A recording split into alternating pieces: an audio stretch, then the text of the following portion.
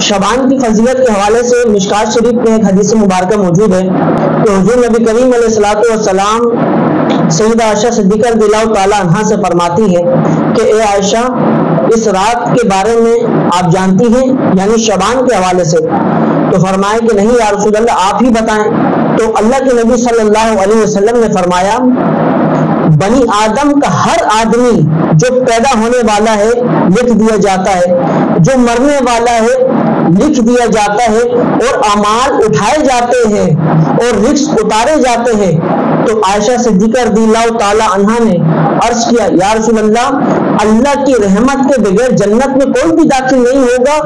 और आगे फरमाया कि या अल्लाह आप भी अल्लाह की रहमत के बगैर जन्नत में दाखिल नहीं होंगे। तो हुजूर सल्लल्लाहु अलैहि वसल्लम ने अपना दस से मुबारक अपने सर पे रखा और फरमाया कि अल्लाह की रहमत के बगैर कोई भी जन्नत में दाखिल नहीं होगा। लेकिन अल्लाह ताला के फजल और करम के सदके से अल्लाह ताला मुझे अपने साय में अता फरमाए।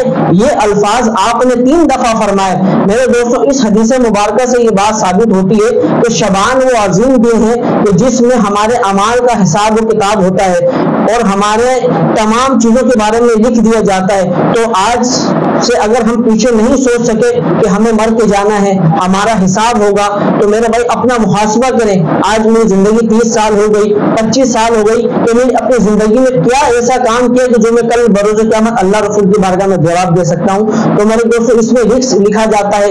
इसमें मरने वाले के लिए मौत लिखी जाती है। और मेरे दोस्तों, जो पैदा होने वाला, उस बारे में लिखा जाता है। और इस हदीस मुबारक में सरकार दो आलम सल्लल्लाहु वसल्लम, दो जहाँ के बादशाह, दो जहाँ के मालिक, अल्लाह की रहमत के, अल्लाह की रहमत के नवाजे हुए सरकार दो आलम वसल्लम, आप भी ये हमें हमारे को ये समझाना चाह रहे हैं, इशारा फरमा रहे हैं कि अल्लाह की रहमत के बगैर कोई भी जन्नत में दाखिल नहीं हो सकता।